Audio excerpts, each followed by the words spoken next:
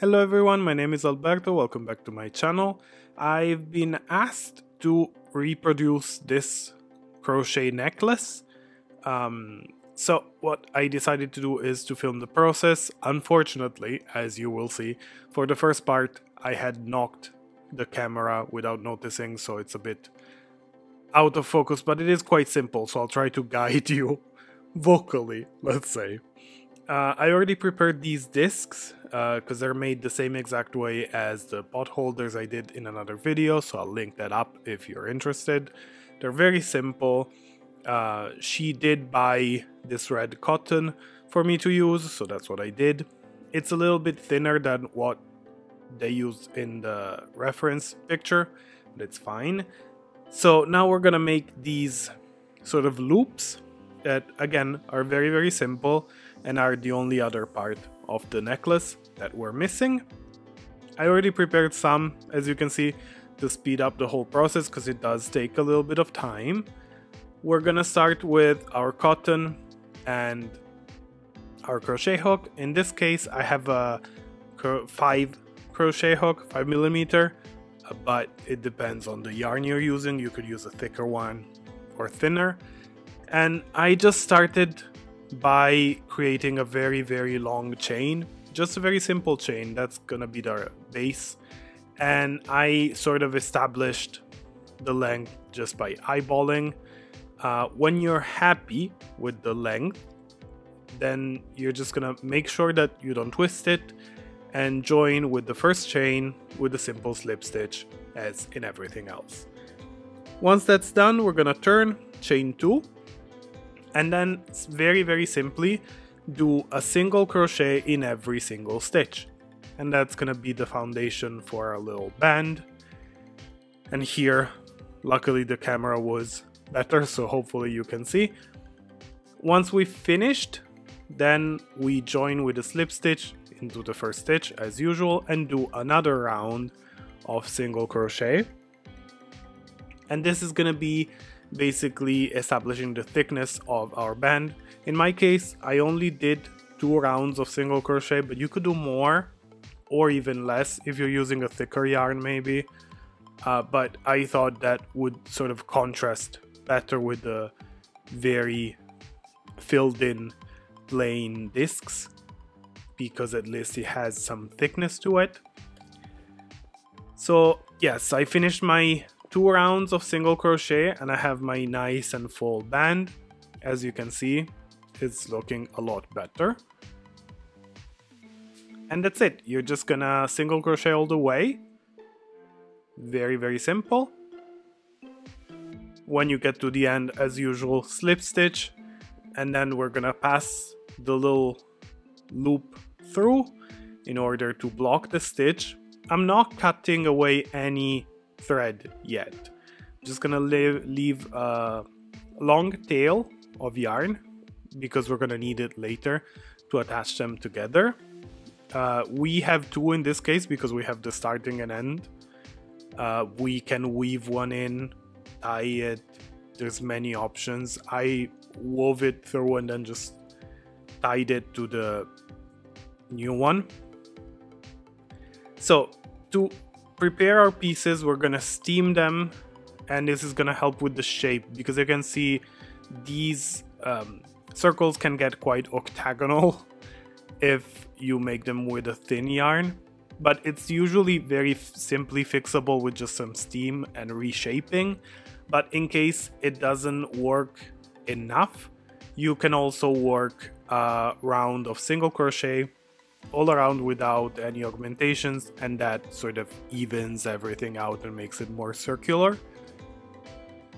In my case I didn't want to add any more layers so I just steamed it and then ironed it in place just pulling slightly. You can manipulate them quite easily especially with the steam because it's cotton so it becomes very soft uh, when it's wet or steamed and then it dries sort of in in that shape.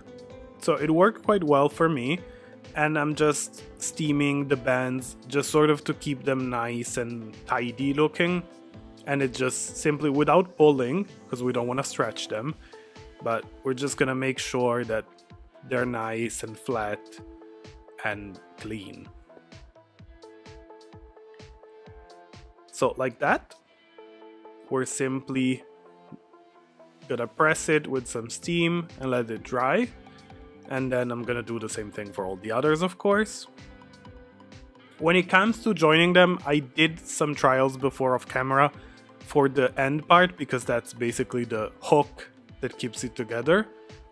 What I figured out is that it's just best to attach the first uh, loop a little lower, so obviously not on the edge. So the other one will have some grip when it loops around it in order to close it. Because that's going to be the opening and closing of our necklace thingy. So this is what I did. And now I'm gonna show you how I attached all the other pieces because again, very simple, just need a yarn needle. And we start with all the tails that we have. So to give it a little bit more strength, I'm gonna weave in a couple of stitches because otherwise the the strength would be on the little stitch at the end. While like that, we're gonna grip onto two, three stitches. So it's gonna have a bit more strength and be a bit more resistant. So we're just gonna weave it through a couple stitches. Uh, again, just eyeball it, but you know, to make sure that it lasts a bit longer. And we go to the end without the tail. And even in the band, we're gonna pick up at least three single crochets because then we have sort of a bigger flatter surface to attach and again it's to support the tension a lot more this is not to have a lot of tension in in the way of pulling but being cotton is quite heavy so the the weight all of the circles and it's quite a long necklace. So to give it the best chance i'm gonna make it as durable as possible. So we're gonna weave in and pick up, as I said, three double crochets on the band and about the same amount on the disc. And we're just going to stitch them together on the front and on the back we can leave a bit longer loops. It's not a big deal because it's not going to show. Um, it's not very visible in general, but if you want to hide it as much as possible, then even in the back you're just gonna weave the stitches in through the single crochets and that way it's gonna be basically invisible. So you just poke it through the back and then again secure it going not only on the border because you could stitch like a simple whip stitch on the border could work but I just wanted to be super super safe so I just prefer to weave through a couple stitches and that way it supports its weight more. So this is it, as you see, very simple. We're just gonna stitch them together.